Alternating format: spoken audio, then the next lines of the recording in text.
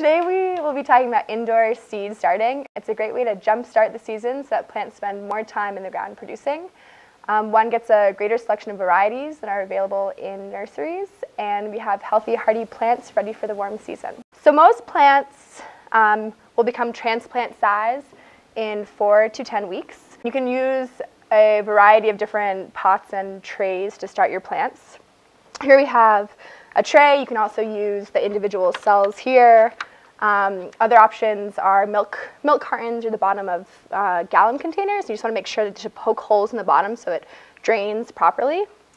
Um, pots, anything that you plant in should be, should be cleaned completely before you start the plants to prevent a lot of the diseases from spreading. It's important to remember that when you start seeds that if they are in smaller containers, then they might need to be transplanted into bigger containers.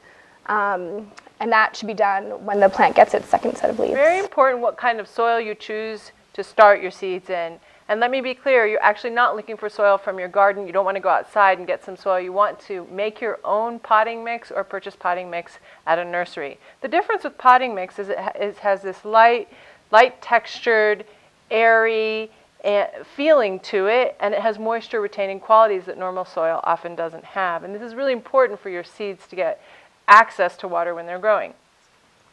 So here we have a, a potting, potting mix, and it has in it, instead of um, peat moss, which many potting mixes have, it has coconut fiber in it.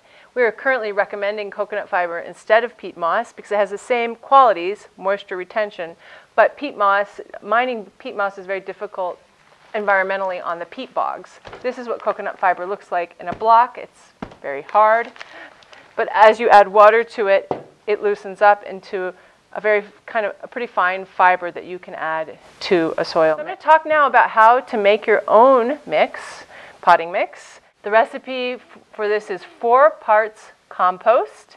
If you purchase a compost that has large pieces, you need to put it through a sieve to remove these large pieces. Two parts coconut fiber, and you can usually purchase coconut fiber at a nursery. You can also order it online. One part perlite, one part vermiculite. And perlite and vermiculite are commonly available at most nurseries. Now I'm going to show you how to plant your seeds. The first thing you need to do is dampen your soil. You don't want it sloppy wet, you want it damp, but it's good to do it in a bowl because you can dampen it, turn it over, dampen it. So now I'm going to demonstrate planting your seeds. You want to have your medium, your potting mix, pretty flat. You don't want it compacted, but you want it flat. Again, you might want to choose to mo moisten it. If you're using a large tray like this one, you can take something like a ruler and make create indentations for your seeds to go into, taking into account how deep your particular seeds like to be planted. The other option is to fill individual cells with soil. You want to fill them about three quarters of the way full. Again, sort of pack them down with your fingers and dampen them if you feel they need more moisture. You can also fill a container such as this one, which will have a top, which will help seeds germinate. I'm, I'm planting broccoli seeds. You make small indentations, place your seeds, and cover it with soil. Once your seeds are planted, you moisten them again. And then a good idea is to cover them with plastic. The purpose of this is just to aid with germination. Until the seed comes above the soil, you can leave the plastic on. Once you see the little seedling, you need to remove the plastic. Do not place this in a hot area. Do not place it in a direct sun in the sun in a windowsill. Do not place it under hot lights because it really could damage the seed at this point. It, most, it doesn't need any additional light until the seed has come above the soil level. Okay, we're here to show you our seeding area. We have a fluorescent light uh, with two bulbs at least recommended. Um, this light is on adjustable straps so that we can raise and lower it. We'll raise it as the plants come up and, and get larger. So we have it underneath the table. You could put this in, in shelving or anywhere where you can hang a light above your, above your seedlings. And if you're going out to purchase a fluorescent light, look for something that's T8 or T5. We can, we can adjust the height of the light above the seedlings. Uh, right now we're at four inches and that's what's recommended. Um, as the plants get larger, we're able to raise this, this light upwards because of the adjustable straps. Most seeds will germinate in 65 to 75 degree soil. Some seeds, like your brassicas, cabbage, broccoli, and cauliflower, or peas, like to germinate in cooler soil around 55 degrees. Most plants grow best at 70 degrees in the day and 60 degrees at night, but check your individual plant's requirements. If your seedlings are in an especially cold room, you can use a heat mat underneath them to warm their environment.